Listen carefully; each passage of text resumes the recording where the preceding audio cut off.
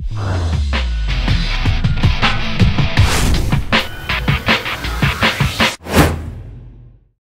Fala aí pessoal, beleza? Ômega aqui trazendo mais um vídeo pra vocês, fãs de Nasmo Eleve aqui no canal, isso aí, trago boas notícias pra vocês, meus amigos, meus caros fãs de Nasmo aqui no canal, no canal do Ômega o que não falta é fã de Nasmo, né? E eu trago boas notícias pra vocês a respeito do novo jogo da franquia que tá no forno da Level 5, e olha só, agora temos Cara, muitas, muitas outras informações para complementar aquilo que a gente já tinha. Temos imagens, cara, temos mais imagens. Vou falar tudo no vídeo de hoje. Vem comigo que, cara, o vídeo de hoje tá excelente, tá muito bom. Tem muita notícia boa sobre o novo jogo do Inazuma Eleven. Galera, ontem, dia 24 de junho, né, dia 24 do 6 aí, aconteceu uma live stream da Level 5 aí no site Nico, né, foi transmitido aí pelo site Nico, um site japonês, meio que um Twitch TV japonês, né, uh, enfim... Teve uma live stream então da Level 5 aí, eu não consegui assistir, infelizmente, não consegui assistir ao vivo, mas depois eu dei uma conferida aí no que, que aconteceu nessa live stream, né, da Level 5. Pra quem não sabe o que, que é Level 5, Level 5 é nada mais nada menos do que a produtora do nosso Inazuma Eleven, né, ela que criou aí os jogos, né, enfim, cara. Uh, então... Teve essa live stream da Level 5 e quem tava nessa live stream, sim, Akihiro Hino, cara. Akihiro Hino, vocês uh, que acompanham meu canal, acho que se familiarizaram pelo nome, né? Porque eu trouxe aí um vídeo há um mês atrás, mais ou menos, até mais de um mês, se eu não me engano, falando aí do tweet misterioso que o diretor executivo da Level 5 e também aí o mentor por trás de todos os jogos, né? Ele que realmente né, cria as coisas, né? Uh, ele publicou um tweet misterioso aí com um artwork de um personagem do Inazuma Eleven, do novo jogo do Inazuma Eleven que se chamava Ryosuke Haisaki. A gente vai falar mais do Ryosuke Haisaki no vídeo de hoje também. Ok? Então, galera, aconteceu essa live stream, cara, e nessa live stream foi revelado muita coisa por eles a, né, a, a, respeito aí do novo Inazuma Eleven, imagens, informações, e eu vou falar tudo no vídeo de hoje para vocês com detalhes e também com teorias. Bom, pessoal, primeiramente vamos falar do cenário, sim, quatro artworks que o Akihiro Hino aí uh, publicou, né, na, na live stream, uh, diz a respeito do cenário do game. Olha só, velho, o cenário já foi divulgado a respeito do novo Inazuma Eleven, que magnífico, cara. Então eu vou falar um pouco aí uh, de cada imagem, né, e do cenário como um todo. Bom, como vocês podem ver aí, o cenário mostra uma espécie de ilha, né, um, é uma ilha, né, uma ilha que, no, que ao meu ver é uma ilha continental, ou seja ela não fica muito longe do continente, que no caso seria o Japão, né? Eu acho que ela não fica muito longe, ela vai ficar ali nos arredores, né? Uh, é, cara, o ômega também é geografia, o ômega também é cultura, né? Então acho que ela não vai ficar tão longe do Japão, assim, não vai ficar isolada de tudo, como por exemplo a Lyocott Island, né? Que foi onde aconteceu o nosso glorioso FFI. Né? Então é uma ilha cercada por água oceânica mesmo, bem bem assim, distante, mas não tão longe do continente que provavelmente será o Japão, né? E pelas imagens é possível é, perceber também que, que ela tem um relevo meio monta montanhoso. Tipo, ela não é uma ilha plana, tá ligado? Ela é uma ilha assim que tem um morro, né? E o morro é cheio de casinhas, assim. É meio que uma favela, mas uma favela numa ilha e bem mais estruturada, né? Então é tipo um morro a ilha, né? Ela segue assim um relevo tá ligado? Pro topo mesmo. E, cara, eu falei, poxa, o que, que o que, que, pode ter no topo dessa ilha, né? Eu fiquei pensando, não dá pra ver muito bem pelas imagens o que tem no topo da ilha, né? Tá certo que tem bastante vegetação, cara, tem bastante vegetação, mas eu acho que deve ter uh, algum tipo, sei lá, um ápice lá no topo mesmo, deve ter alguma coisa diferente. Eu pensei, pô, pode ser o estádio de futebol da ilha, que daqui a pouco eu vou comentar, que parece que já foi divulgado, ou algum tipo de elite que vive ali no topo da ilha, pô, não sei, cara. Só sei que esse relevo montanhoso da ilha pode nos trazer aí alguma alguma coisa, né? Alguma pode se influenciar na história do game. Uh, e a pergunta fica, né? Se será que os personagens principais que provavelmente vão ser moradores dessa ilha, será que eles vão deixar algum momento essa ilha ir pro Japão lá, para Tóquio ou para a própria Inazuma Town, né, a cidade de Inazuma? Quem sabe, cara? Fica no ar essa pergunta, não dá para saber ainda, mas a princípio essa ilha vai ser onde tudo vai acontecer a princípio, né? Uh, e aí temos a imagem do estádio, pessoal. Temos a imagem do estádio que para mim é o estádio da ilha. Né, dessa ilha aí, não sei se é o estádio principal. Eu levantei uma possibilidade de ser tipo um Football Frontier Stadium, né? Que foi aí o, o, o, estádio ali principal, né, da, da, não da cidade de Inazuma, acho que do Japão inteiro, né, do Japão inteiro ali, na época do Endo, né, onde tivemos aí a disputa das finais do futebol fronteira nacional, né, então é meio que um estádio público, né, poderia ser um estádio público, poderia ser o estádio da ilha de fato, ou pode ser também uh, o estádio de um time, quem sabe uh, pode ser aí uh, o estádio, né, o campo do time Kira Star. Pode ser, cara, pode ser aí o estádio do Kira Star, eu não tenho ideia de fato. Eu só vi que tem umas formas pontiagudas aí uh, no estádio, né? Não sei se dá pra vocês uh, terem essa noção, mas dá pra ver que tem umas formas pontiagudas que podem indicar sim a estrela, né? O Kira Star, cara. Então não dá pra ter certeza ainda se é de fato um estádio uh, público, né? Tipo um Futebol Frontier Stadium, né? Ou Holy Road Stadium, como tivemos na, fa na fase Go, né? Ou se vai ser o estádio uh, de, de um time mesmo que seria o Kiristar, ou do próprio time da casa aí, ou o time protagonista, né? Eu não sei, cara.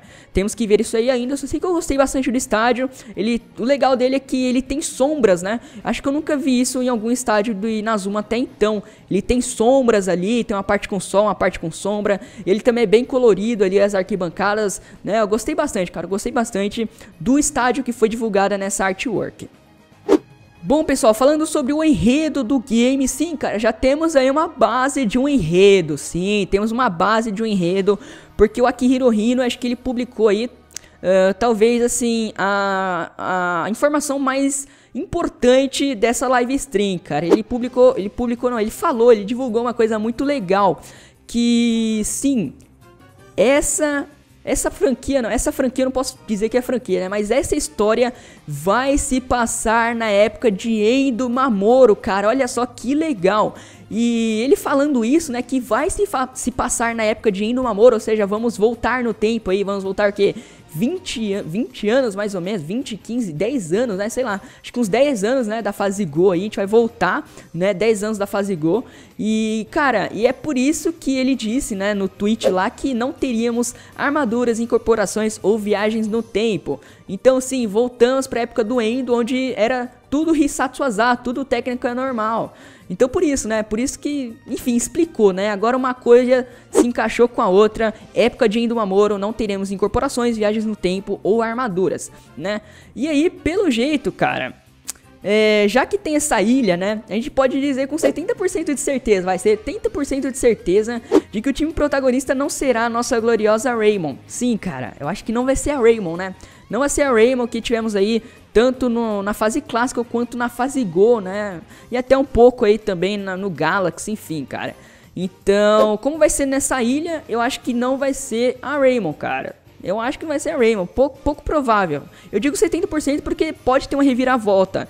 Mas como ele divulgou isso daí, a ilha, cara, eu acho que não vai ter Raymond de fato, assim, como protagonista, né? Do, do nosso querido Inazuma Eleven, nosso novo Inazuma Eleven. Mas como vai se passar na época de Indo Mamoro, a expectativa fica aí uh, pela aparição da Raymond Classic também dos seus integrantes nessa, nessa nova fase do Inazuma Eleven, né? Talvez eles fazem uma ponte ali e apareçam de alguma forma, né? E quem sabe, né, o, Endo, o próprio Endo Mamoro, né? Eu levantei até uma hipótese. Quem sabe o Endo, né, ainda adolescente, lá acabou de se formar uh, na Raymond, por exemplo, né? Porque, pô, passou 10 anos, né, até a fase. Quem sabe eles não pegam ali uns 5 ou 3 anos depois que o Endo se formou lá na Raymond, né? O Endo ainda adolescente e tal, ele viaja para essa ilha quem sabe o Endo joga pelo time ou treina, ensina o time local, né, dessa ilha aí a jogar futebol e tal, a fim de vencer um inimigo aí uh, do lugar, né, atra através quem sabe também de um torneio semelhante ao Futebol Frontier, né? É só uma hipótese, pessoal, mas eu acho que o que tinha para falar basicamente do enredo é que não vai ter incorporações, armaduras e viagens no tempo e que vai se passar na época de Indomamoro e provavelmente nessa ilha. Pessoal, sobre os personagens, sim, já temos uh, artworks, cinco, cinco artworks aí de personagens do nosso Inazuma Eleven. Então já dá pra formar ali na mente uma imagem assim do pessoal jogando lá. Uh, enfim, vamos lá, cara. Uma, da, uma das artworks, né, que o Akihiro Hino divulgou é sobre o Ryosuke Haisaki. Sim, vocês já ouviram esse nome. Ryosuke Haisaki foi aquele personagem que ele divulgou naquele tweet, né, a cores e tal, cara. E, e eu acho a artwork mais interessante a se falar nesse vídeo que ele divulgou agora agora nessa live stream. Bom, com a divulgação da, da artwork, né, do, do Ryosuke Haisaki, essa artwork de fato aí, uh, deu pra saber um pouco mais da personalidade do jogador, né, que provavelmente será um antagonista, né, ele vai ser o vilão da, da série e jogador do, e principal jogador também do Kira Star, que é aquela equipe lá que a gente já mencionou no vídeo passado, uniforme preto, meião amarelo mais ou menos, né? Uh, e cara, pela artwork, como eu disse pra vocês, deu pra saber um pouco mais da personalidade do jogador. E que, cara, eu achei fantástica, velho. Pelo jeito, ele vai ser tipo uma beta, cara. Ele vai ser, sabe, a, a nossa gloriosa e bela bipolar beta. Sim, cara, eu acho que ele vai ter um lado bipolar e muito agressivo. Não sei se dá pra vocês sacarem o que eu tô querendo dizer, só observando aí a artwork, mas pelo jeito ele tem um, um lado bipolar. Ele, ele é bipolar, cara. Ele tem um lado bom, ele tem um lado ruim, um lado agressivo. E eu não sei de fato se ele vai ser mesmo do time principal, time protagonista em alguma parte da história, mas, cara, ele tem assim uma fase, sabe, uma, um lado bom e um lado muito louco, tá ligado? Um, um lado agressivo, mano. Isso é muito bom pra, pra um antagonista, né? A, tipo a Beta, cara. A Beta pra mim foi uma das melhores antagonistas aí, justamente por esse lado bipolar, cara. É muito louco mesmo. Do lado ela tá bonitinha lá e do nada ela, tá ligado? Fica tá ligado? Fica agressiva, isso eu acho muito bom, cara. Isso eu acho fantástico e eu fiquei bem animado com essa artwork que mostrou um pouco da personalidade desse jogador Ryosuke Haisaki. Provavelmente vai ser aí o antagonista, ou seja, o vilão aí uh, da, da, do novo Inazuma Eleven. Falando agora das três próximas artworks aí, que pelo jeito são dos dos jogadores da, do time protagonista, né? Que seria a Raymond, mas eu acho que não vai ser o Raymond, como eu disse anteriormente, né?